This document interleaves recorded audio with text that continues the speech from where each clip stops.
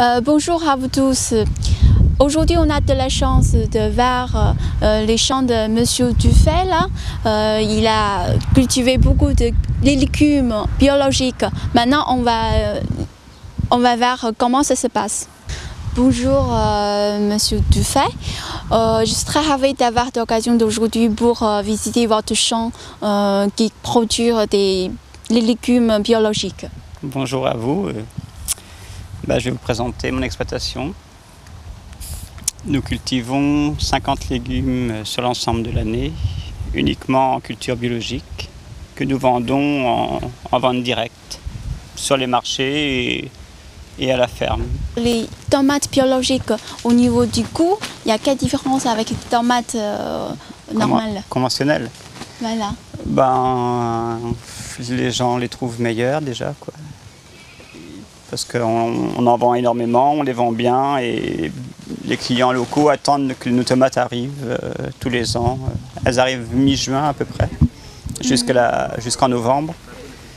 Et puis bon, bah, ils, arrêtent surtout ils arrêtent pas de nous dire que- qu'elles sont très bonnes et, qu'elles sont meilleures. Et que les tomates euh, aussi, on n'en mange pas à Noël. C'est un produit de saison et la bio, c'est aussi de manger des légumes de saison. Donc on ne fait pas venir une tomate qui fait 2 ou 3 000 km en camion pour la manger à Noël. Il faut mieux manger des tomates locales qui coûtent moins cher à produire et qui créent moins de pollution sur la route. C'est-à-dire, en fait, euh, la saison euh, va partir, euh, va passer, on ne peut plus cultiver les tomates. Ben, en serre froide, parce que ça c'est des serres froides, c'est mi-juin jusqu'à fin octobre, début novembre. Quoi. Après on n'en cultive pas. Quoi. Ou alors c'est des serres chauffées. Quoi. Mais là encore c'est beaucoup d'énergie. et On peut faire des tomates toute l'année en Bretagne, ça se fait. Quoi. Mais une tomate qui, qui mûrit l'hiver est pas bonne. Quoi. Ou est moins bonne. Quoi. Je pense que ça, c'est la différence entre euh, tomates biologiques et tomates normales. Est-ce que vous avez ajouté des engrais euh, comme pesticides ou des engrais euh, biologiques? On, met du, on compost dans le sol quoi, ou du fumier. euh. On prépare le sol, on met du compost ou du fumier. Après, je mets un paillage euh, plastique parce que on n'a pas le temps de désherber. Il faudrait désherber à la main. Et après, on installe le système euh, d'arrosage, puis c'est tout. Au niveau des engrais, pas. euh, On met que du compost ou du fumier. Quoi. Mais J'aime bien savoir, est-ce qu'ils ont bien poussé avec ce genre de engrais? Ouais, ça suffit. ouais. Ça suffit largement. hein. Bah là, ils sont, ils sont beaux. hein. Elles sont belles, quoi. En fait, ça sent vraiment fort. euh, La tomate, euh, ouais. Voilà. Effectivement, avec tous les engrais biologiques, ils ils poussent bien.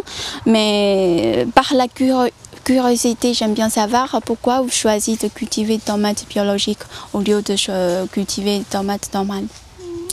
On peut pas, on n'est pas capable de mettre du désherbant pour l'herbe. On ne peut pas euh, traiter. euh, quand on a des attaques parasitaires, on ne peut pas traiter avec de la chimie. On, se l'interdit. ça ne nous intéresse pas. Si on a des attaques de parasites, on, on achète des auxiliaires ou on fait, on essaye d'attirer les auxiliaires euh, dans les arbres. Des insectes qui vont combattre. euh, ou alors on a des recettes euh, avec des purins d'ortie, des purins de consoude. euh. Pour le puceron, bah, il y a le marc de café, il y a plein de choses. quoi. Moi, ça fait 15 ans que je fais ça et j'ai jamais utilisé un gramme de chimie, quoi. ni de pesticides, ni d'herbicides, ni de fongicides. Quoi. Parce qu'on c'est mauvais pour la santé et c'est mauvais pour l'environnement et pour les animaux. Quoi. Autrement, je ne ferais pas ça. quoi. Pour l'instant, on est dans le champ de salade. Vous avez à peu près cinq champs comme ça, assez grands. Et comment vous gérez euh, le, sang- euh, le champ tout seul ou avec les autres personnes ou avec la machine ou manuellement? On est cinq en fait à travailler sur 15 hectares. Et puis bah, on a des on a des outils, quoi, des, des labours, des rotas, des cultis, des. On travaille mécaniquement le sol. Quoi. En fait on travaille à la main que pour, euh, pour la plantation euh, ou désherber, désherber sur le rang. Mais autrement on essaie de désherber avec du binage ou la RC-tri. Euh, Les graines des salades, ils sont biologiques aussi. Toutes les semences et le plant doivent être biologiques. C'est dans le cahier des charges et on est obligé d'avoir du plan ou de la semence bio. Bon, si des fois on ne peut pas trouver une semence ou un plan, on peut prendre du non traité. Et il faut demander une dérogation à notre organisme certificateur. Est-ce que ça dit OGM, des produits OGM Non, nos graines sont non, ne sont pas issues d'agriculture euh, conventionnelle ni OGM. Et la plupart de nos semences euh, viennent du Japon. C'est les Japonais qui, qui font toutes les semences bio pour ainsi dire. Pourquoi en fait euh, vous avez refusé de cultiver les légumes de OGM Parce qu'on pense que ce n'est pas une bonne chose euh, pour l'environnement et pour la santé humaine. Il y a déjà beaucoup de signes avant-coureurs euh, en Inde, en Argentine. Beaucoup de paysans indiens qui se suicident parce que avant ils cultivaient sans pesticides et sans fongicides, sans produits. Maintenant, ils sont obligés d'acheter des produits parce qu'ils cultivent des OGM qui sont très gourmands en produits euh, phytosanitaires. Ils sont endettés. On leur a supprimé plein de variétés de coton ou de riz qui, qui poussaient très très bien dans leur zone et ben, ils n'ont plus beaucoup de rendement, ils sont, ils, sont, ils sont en faillite. Et il y a beaucoup de suicides et beaucoup de misère.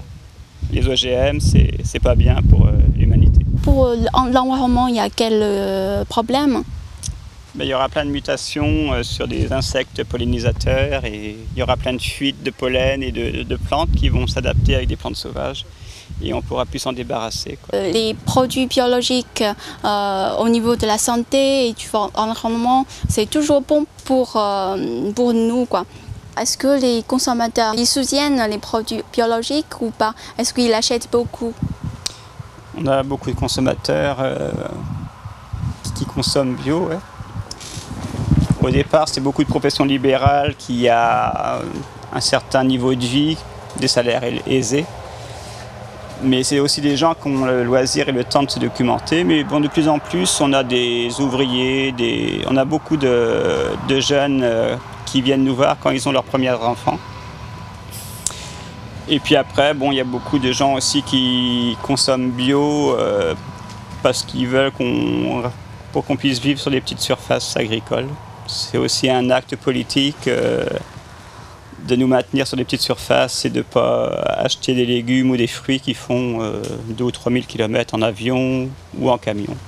J'aime bien savoir euh, les décalages du prix entre des produits biologiques et produits normaux, euh, à peu près combien? Ça dépend. Il y a des fois, euh, on est moins cher que du conventionnel. Il y a des fois, il y a 80 centimes de plus au kilo, ou 1 euro, 10 centimes, 20 centimes. Mais il y a des fois, on est moins cher. Je pense pour euh, les consommateurs, c'est vraiment intéressant de savoir quel intérêt pour eux de payer 1 euh, ou 3 quelques euros pour acheter des produits biologiques. Bah, le fait de payer un petit peu plus cher les produits biologiques, c'est en fait l'argent qu'ils n'auront pas à donner euh, ultérieurement pour la dépollution de l'eau, pour les ruissellements de terre ou les inondations, parce qu'en agriculture conventionnelle, on, a arraché tous les, tous les talus, tous les arbres. Donc il y a des catastrophes naturelles euh, de par le monde qui sont liées à une érosion euh, éolienne et beaucoup de ruissellement d'eau parce qu'il n'y a plus d'arbres, parce que l'agriculture conventionnelle détruit l'environnement. Et donc le, contribuable, après, paye en fait toute cette casse, le réchauffement climatique, les inondations, les éboulements de terre euh, et l'eau surtout. En Bretagne, l'eau est polluée mais énormément quoi. Donc en fait, euh, d'acheter un produit sain et qui, chez des producteurs qui ont préservé l'environnement, qui font des efforts sur leur territoire, quoi. Euh, je crois que les gens le comprennent, quoi. Et en plus, les subventions agricoles européennes euh, qui sont énormes pour faire du maïs, du blé, de la surproduction, euh, sont prélevées euh, dans les hôpitaux ou dans les écoles parce qu'on coupe, on coupe les rations pour que l'agriculture ait tout le temps son lot de subventions. Et ça, c'est les, les gens qui le payent indirectement. Les gens dans les hôpitaux pour nous soigner, notre éducation nationale ben, commence à battre de l'aile et et voilà, parce qu'il euh, y a trop de subventions à partir pour, une agriculture qui ne nous correspond pas. fait, euh, pour les produits euh, normaux, on a, on a beaucoup de subventions du gouvernement. Oui. Est-ce que pour les produits biologiques, on a des subventions? Non, il n'y en a pas beaucoup, non. On a- Pourquoi? Au niveau national, on n'est pas beaucoup aidé parce que le syndicat majoritaire qui est la FNSEA euh, est aussi euh, l'ami du gouvernement actuel et ils ne veulent pas développer l'agriculture biologique en France. Ils veulent continuer à faire du blé, du maïs et de l'élevage hors sol parce qu'ils sont dans leur logique de surproduction et qu'il y a beaucoup d'intérêt pour les, les firmes qui font des produits ph- pharma, phytosanitaires, quoi. les lobbies euh, pharmaceutiques qui vendent des produits euh, pour les cochons, les poulets, les antibiotiques, et les traitements pour le blé, les traitements pour le maïs. C'est les lobbies des gros tracteurs et des grosses machines. Tous ces gens-là sont regroupés et ne veulent pas d'agriculture biologique parce qu'elle n'utilise pas de produits et euh, elle n'est pas rentable pour euh, ces boîtes-là. Je pense que pour les consommateurs ou comme vous, les producteurs, c'est très difficile à comprendre les logiques euh, du gouvernement. Bah, on n'est pas d'accord avec eux, et, mais malgré tout, on, on se développe et on s'installe quand même, et on a beaucoup de retard. euh, La France a beaucoup de retard au niveau européen par rapport à la bio, Euh, alors qu'il y a une très grande demande. Les cantines, les hôpitaux veulent manger bio, et il n'y a pas assez de producteurs en France. Et là encore, on est en train de faire une bio qui va faire 2 ou 3 000 km en camion. Quoi. On va la prendre en Pologne, en Israël, au Maghreb, alors qu'ici, on pourrait la faire. Quoi. Est-ce que vous pensez un jour, euh, peut-être le gouvernement va changer sa politique euh, pour euh, euh, soutenir les produits biologiques? On changera de gouvernement, oui. Parce que celui-là, il ne changera pas. Il faut changer le gouvernement. Pour les Chinois, les Occidentaux, les pays occidentaux, c'est super. On a beaucoup de droits, l'homme et beaucoup de liberté. On Ouais, peut faire vrai, ce ouais. qu'on veut, mais en effet, c'est pas tout à fait comme ça. En- au niveau de l'agriculture, on ne fait pas ce qu'on veut, non, parce qu'en en fait, euh, si on veut installer des jeunes en, agriculture biologique, on ne trouve pas de terre, parce que tout est verrouillé au niveau des syndicats agricoles et, de la chambre d'agriculture, qui donnent tout le temps la priorité aux grosses fermes qui sont en conventionnel, et eux, ils s'agrandissent et s'agrandissent sans arrêt.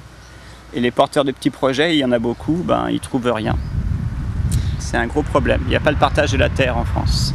Euh, si je ne me trompe pas, je pense que le gouvernement français ou le gouvernement, le gouvernement européen, il protège plutôt les grands producteurs. Bah, Il y a euh, trop d'intérêts en jeu financiers et ils sont pas prêts à. Bah, il y a des pays en. Il y a des pays euh, européens qui sont très avancés en bio. hein. euh, comme Les l'Allemagne. pays, les pays du Nord, euh, mais l'Italie aussi, je crois pas- l'Allemagne aussi. Mais bon, euh, je pense que ça pourrait aller beaucoup plus vite et ça pourrait être euh, beaucoup plus important au niveau de la surface. Mais ça viendra, de toute façon, on sera obligé. Parce que l'agriculture conventionnelle euh, appauvrit et tue le sol. Beaucoup de sols sont en train de mourir parce qu'ils ne mettent pas de matière organique, ils sont, il y a des érosions. Il n'y a plus de talus pour arrêter le vent, l'eau. Il faut nourrir le sol sans arrêt quoi. C'est pour qu'il donne euh, tout le temps.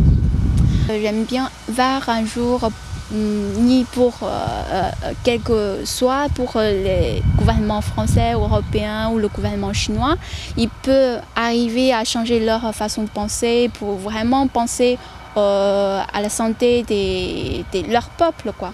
Mais je crois que c'est en fait, moi je pense qu'il ne faut pas attendre grand chose des politiques. Je crois que c'est le panier de la ménagère, c'est le consommateur qu'il faut éduquer. C'est comme des petits théâtres ou des petites salles de cinéma. Si personne n'y va, ben, un jour ils ferment. Quoi. Et ben, faut que les gens décident d'acheter autre chose et d'aller en grande surface sans arrêt. Il y a autre chose. Et c'est les gens qui changent, qui font le monde. quoi. C'est pas les hommes politiques. Vous avez vraiment bien raison. Je pense que consommateurs, ils ont l'intérêt de penser euh, plus loin pour leur santé, pour l'environnement et changer leur façon de penser. Ouais, pour l'avenir de leurs enfants, quoi. Il faut voir ce qu'on va leur laisser, quoi. C'est c'est les consommateurs qui détiennent le pouvoir, en fait. Si on était une journée sans prendre la voiture, mais le gouvernement, il, paniquerait. euh, on peut déstabiliser un gouvernement ou des façons de consommer ou de produire en, deux ou trois jours. C'est- Mais bon, les gens ne le savent pas, quoi, mais c'est dommage, quoi. ça nous appartient, mais on, on va y arriver. On peut tous, tout le monde, euh, on peut faire des efforts pour réaliser ce rêve. Ça s'appelle la révolution silencieuse. ça. Pourquoi la révolution silencieuse? Parce que ça fait pas de bruit et ça, ça porte beaucoup. Pour les consommateurs qui aiment bien les, euh, les légumes euh, biologiques, ils sont vraiment heureux parce que car vous, euh, il existe euh, plein de producteurs comme vous qui produisent ce genre de choses. Je pense que c'est vraiment une bonne chose. Ben, on a la satisfaction de, d'avoir des clients contents, qui viennent toutes les semaines et qui sont très contents de nos légumes. Ils se conservent beaucoup mieux. Ils nous disent souvent que. on est enfumé là. Ils nous disent souvent que les légumes se gardent très longtemps, une semaine, 15 jours des fois, et ils sont très bons. quoi. Et les, même les restaurateurs, les, grands cuisiniers, euh, les trouvent vraiment différents à travailler. Parce qu'on en met chez Rollinger à, à Cancale. Et à travailler et à cuisiner, ils sont vraiment ils sont bien, ils sont très fermes. Ils ont beaucoup de matière sèche et c'est très intéressant. J'aime bien dire pour les consommateurs, euh, ils n'ont pas acheté, pas encore commencé à acheter. manger bio. à, voilà, à acheter des produits bio. Je lui conseille aussi d'acheter des produits bio parce que c'est vraiment bon pour la santé euh, et pour l'environnement aussi. Pour les deux, ouais. Donc on- Autant, autant pour l'environnement que pour la santé. Euh, j'espère que les produits biologiques, ça va fonctionner en Chine aussi.